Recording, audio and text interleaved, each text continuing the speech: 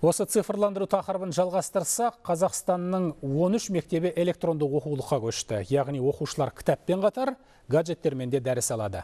Қазақстан мен эстондық мамандардың бірлескен пилоттық жобасы 3 мыңнан астам оқушыны қамтамасыз етіп отыр. Жаңашылдықтың артықшылықтары қандай, кемшіліктері бар ма? Бұл сауалдарға тілшіміз жауап іздеп көрді. Алма Тұрғанбекова 30 жылдан бері қолданып келген борды биыл нұсқауыш таяқшаға алмастырды. Бұрынғы тақтаның орнына интерактивті үлгіселенген. Ал оқушыларға сабақ үстінде кітаппен қатар смартфонды да ұстауға рұқсат. Еріккеннің ермек үшін емес, керектіні білмек үшін. Өйткені бұл телефондарда ойын сауық емес, кәдімгі оқулықтардың мазмұны сақталған. Интерес э, с каждым днем даже э, выше и выше.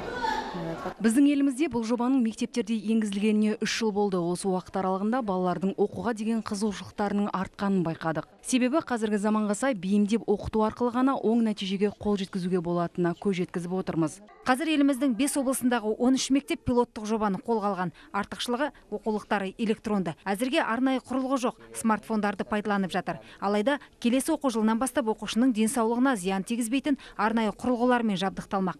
Тағы бір тиімді тұсы оқушы қай жерде жүрсе де үйге берілген тапсырманы орындауына мүмкіндігі мол.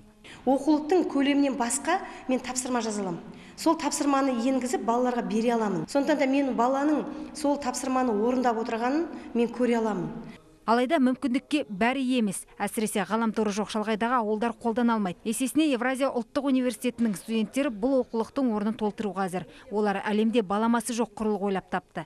Шағын ғана болса да инновацияның игілігі зор. Барлық қажетті материал бір құрылғының ішінде. Әрі интернетсіз ақ істей береді. Ақпараттық технология саласындағы таптырмас құрылғыға қазірдің өзінде сұраныс жоғары. Қазіргі таңда біздің мақсатымыз қазақстанның барлық түкпір түкпіріне енгізу және сонымен қатар бүкіл әлемге де болашақта енгізгіміз келеді. Өйткені бұл тренажер өте көп септігін тигізеді.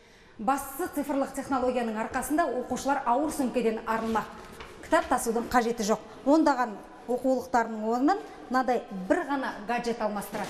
Тек жиі құбылатын реформа жаңғыртуға емес жаңылтуға жетелемесе болғаны. Асима нұрбайқызы қазақстан ұлттық телеарнасы